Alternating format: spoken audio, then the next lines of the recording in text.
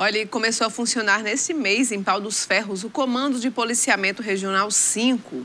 A área de atuação abrange 36 cidades. Em menos de um mês de atividade, o Comando de Policiamento Regional de Pau dos Ferros, o CPR-5, já representa avanço na política de segurança do interior do estado. Agora, 36 municípios da região oeste fazem parte da mesma área de comando.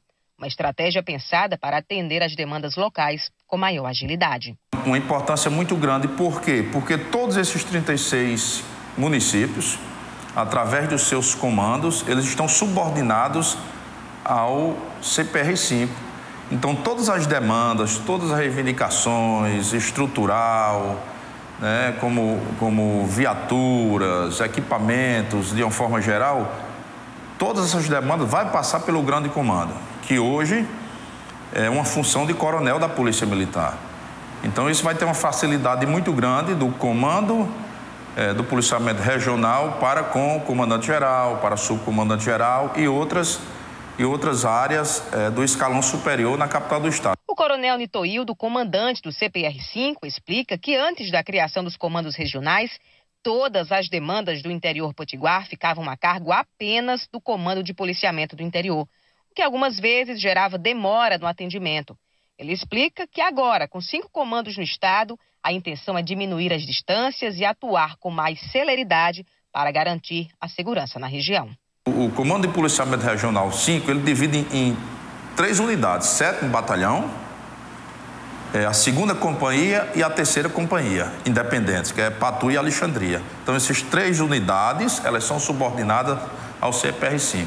Então, o que acontecer nessas cidades, eles vão procurar o seu comandante imediato, seguindo né, a nossa, a nossa a Polícia Militar, ela é baseada na hierarquia e disciplina.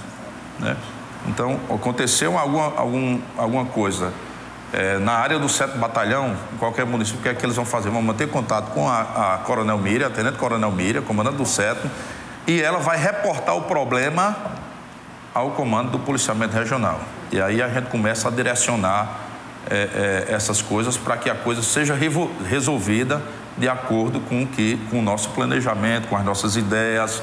O CPR-5 tem sede própria, com pessoal, viaturas e estrutura para dar suporte às unidades de policiamento na área de abrangência.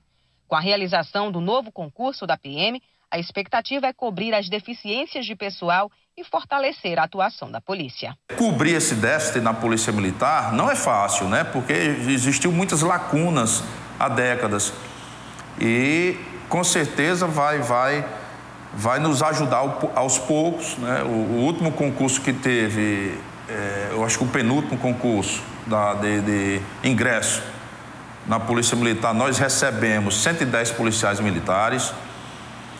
E a gente acredita né, que nessa, outra, nessa próxima formação aqui nós vamos receber também para é, é, alimentar mais ainda cada destacamento, cada cidade que pertence ao CPR5.